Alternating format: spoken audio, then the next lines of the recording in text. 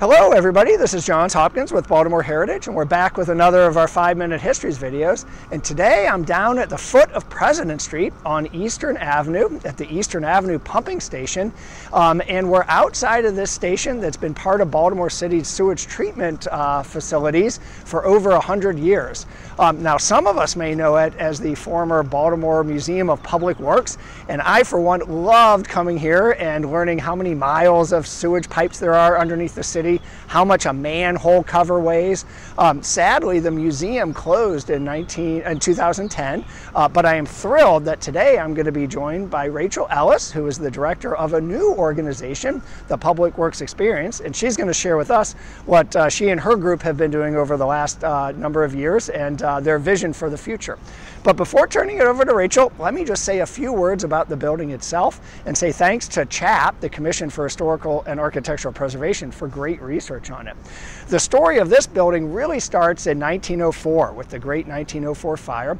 At that time, Baltimore, Baltimore was disgustingly behind our peer cities uh, in that we had no su municipal sewage treatment at all. Our privies and outhouses flowed into the Jones Falls, jo uh, flowed into the Gwynns Falls, basically flowed everywhere that you didn't want sewage to flow into.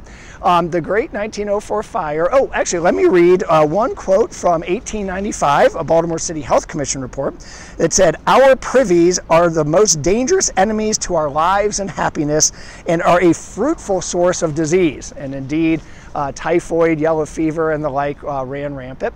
The 1904 fire cleared out a good chunk of downtown, and luckily for us, our city leaders uh, saw that as an opportunity to build not just above ground, but a whole new sewage, sewage system below ground. They may have had a little motivation from their friends in Annapolis, who that same year passed a law making it illegal to discharge sewage directly into the bays or its tributaries, the Jones Falls, the Gwynns Falls, etc. So with a little motivation and an opportunity opportunity, we built what the Public Works Commissioner said was the largest uh, sewage system project in the world. And that may in fact have been true. Um, they got started and they got started with a bang. By 1912, they had completed the main uh, piping underneath the entire city, not just downtown, and two thirds of the ancillary piping. And by 1912, this building was up and running uh, as part of that system. It is fantastic in its architecture. The architect, if you're interested, was a gentleman named Henry Braun, um, who also designed the Northern District Police Station in Hampden, which I think uh, uh shares a resemblance resemblance to this building, and Brown's Arcade on Charles Street, which I don't think looks at all like this building, so a versatile architect uh, for sure. Um, but the building was designed to be functional as well as beautiful. Um, the way it works is we're down here at water level, and uh, sewage from downtown and adjoining neighborhoods uh, still flows into the building, and then the pumps, it is a pumping station powered by coal, would pump it to its ultimate treatment destination out in Baltimore County. So lots of pipes involved here. Um, I am going to wrap up and say that the system is still up and running. Uh, to, uh, back then, the uh, chief engineer said that it was, if you're wondering, as neat and clean and odorless as any business office. Um, and it is, uh, I will vouch, neat and clean and odorless.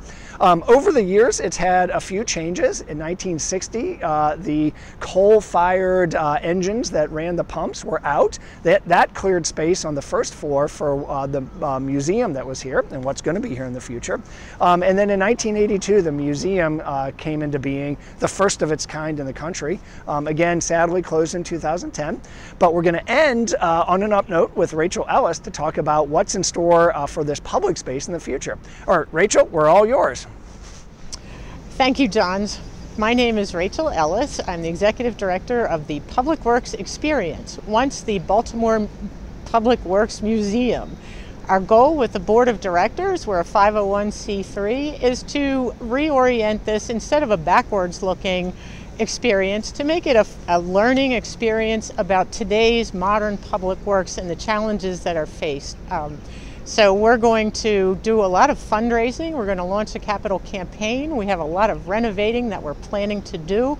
And our goal again is to really face forward and help people understand the value of water the value of all public works and how important they are to our, our modern communities.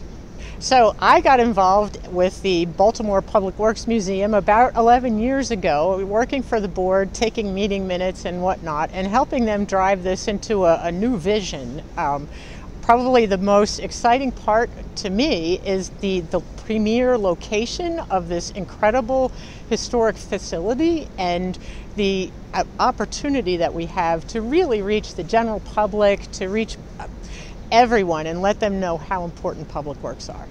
So, if this has sparked your interest in the public works experience, we do have a website which is www.pwexperience.org.